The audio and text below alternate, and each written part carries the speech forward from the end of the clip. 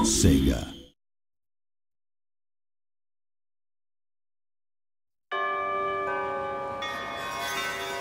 So it's 9 p.m., Saturday, Tokyo. And understandably, you're looking for a good time. And you have two options the tourist route, eat sushi, ride the bullet, Harajuku happy hour, blah, blah, blah.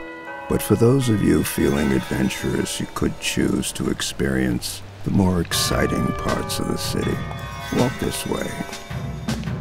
This here is Kamurocho, Tokyo's red light district.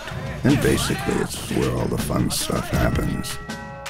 Hookers, murderers, hostess hangouts, fetish clubs, $5 sake sake. You get my drift. And these guys here, mm, these guys are nasty, bad, bad people.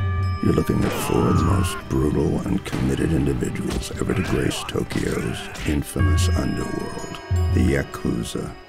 Cross any one of these badass big shots and expect to be stripped of your pride, dignity, and limbs, one by one. Nice. These monsters have shot, stabbed, punched, strangled, kicked, and scraped their way to the top of the pile, and they're not likely to be stopping anytime soon. And just to add a little more fuel to their angry, angry fires, the big bad boss with a checkbook has been sliced and diced and paid the ultimate price. So now, understandably, all kinds of shit is going down in which anything could happen. And I mean anything. Sushi showdowns? Sure. A motorcycle to the skull? Hell, why not? These guys are so tough they don't even use umbrellas, and that's saying something.